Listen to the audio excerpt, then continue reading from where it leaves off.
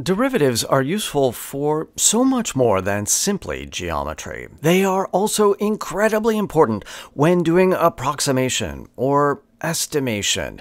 If you think about what we have done in, say, looking at tangent lines to a curve in three dimensional space, that's more than simply, oh, let's find the, the line that's tangent to it.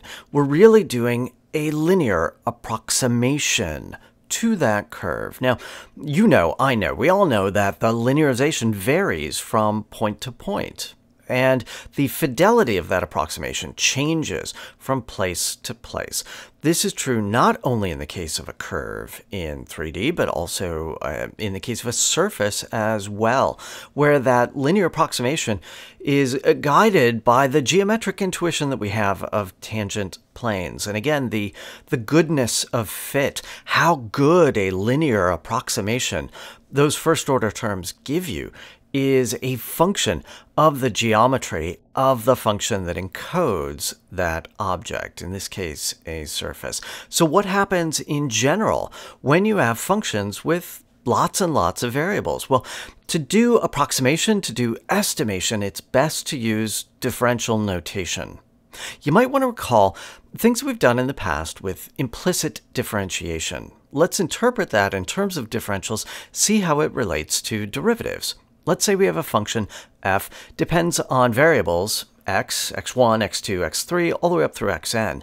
Now, when we've done implicit differentiation in the past, we write df, the differential, as a linear combination of the dxi terms, where the coefficients out in front are the partial derivatives of f with respect to the various inputs, the xi. So this linear combination of differentials can be thought of in terms of estimates. If we, if we think of each of those uh, dxi terms as, as representing a small change in xi, or a rate of change, if you like, then df represents a small change in the output. And we can use those differentials to estimate changes. Now compare that to what we've done with derivatives, where instead of writing df, I'm gonna I'm gonna use that alternate notation, partial f partial x, where that x has an underline. That means I'm taking the derivative with respect to all the variables.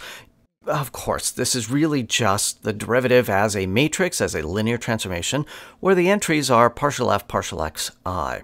Now, this linear transformation acts on a vector of rates of change. But what if we think of that vector of rates of change as dx, as a vector of differentials, dx1, dx2, all the way up through dxn? Then we can write out this differential formula as df equals partial f partial x times dx and you're you're seeing the chain rule inside there. You're seeing how the derivative acts as a linear transformation. But by writing this in the more suggestive language of differentials now we are armed to start doing estimation